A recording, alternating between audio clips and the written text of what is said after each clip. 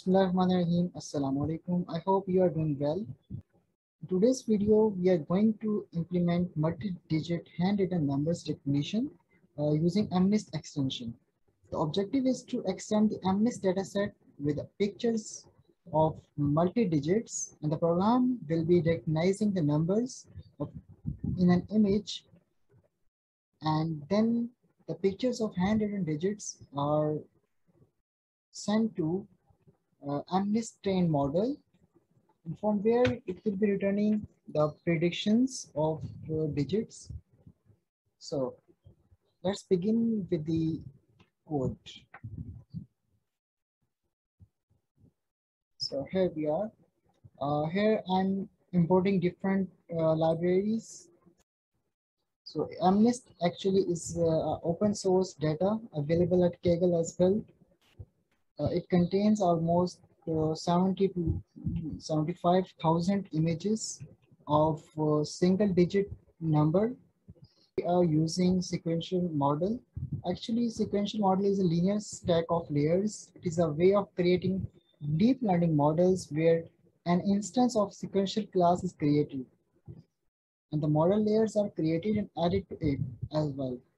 So we have created a sequential model by passing a list um, a list of uh, layers to its constructor. All right. So here we are. Uh, then we then we are compiling the model and choosing accuracy as performance metric. So here we have training data and testing data in a proper format.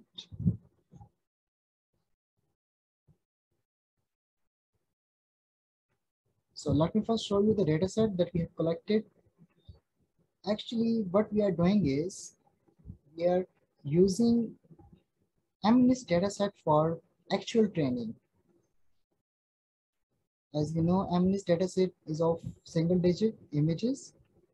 And then we are we have created our own data set. And here is the data set. It contains multi-digit numbers like two digit, three digit, then four digits, five digit, and so on. So here I'm creating a function named digit recognition, which takes an image and its size. This total program, what is being done is first the image is converted into grayscale, that is into black and white after that, we did the thresholding of the image. The step of thresholding is performed to create a binary image from a grayscale image. It separated the foreground pixels from the background pixels. Uh, actually, this is what this is the main step that uh, uh, that is useful in getting the digit out of the image. Then the thresholding distinguishes the lighter or darker pixels of the image. So actually the darker part is our number and the lighter part is the background. Uh, we adopted the divide and conquer strategy where the program checks that how many numbers of digits are there in a picture and then crops each digit separately on the basis of contour and then send that exactly cropped image to the MNIST program for the, for the recognition of this single digit. So detected images. So these images are actually of single uh, single digit. So in the next section, we are actually making the contours over the digits. So in this section, we are testing our uh, self-collected data set that was of multi-digit multi-digit numbers. So here I'm uploading my different images. It contains you can see three digit, four digit, five digit, two, two, two digit number, and I have six digit number as well. So this is my data set. So I can read simply its uh, path, its directory, and I'm pasting that path into this comments.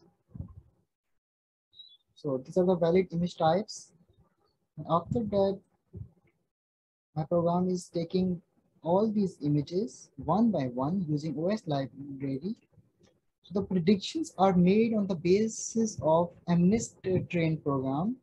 So here is my prediction result. I'm actually saving it in an array. Here I'm showing all the images one by one and its result. So let me show the results. Here I have the image 92929. So it predicted that it actually recognizes the number of digits in the image. So it says one, two, three, four, five. I have five digits. One digit is nine. Second digit is two. Again, nine, two, and nine. So it worked very well.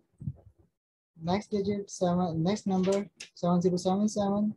So it's predicting uh, it's predicting two, very bad. Then zero, all right. Seven, no, it's not three.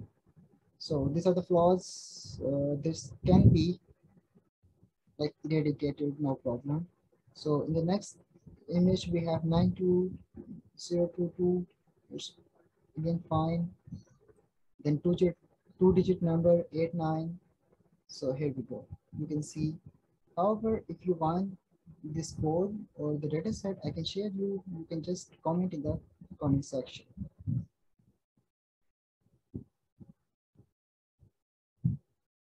So thank you so much allah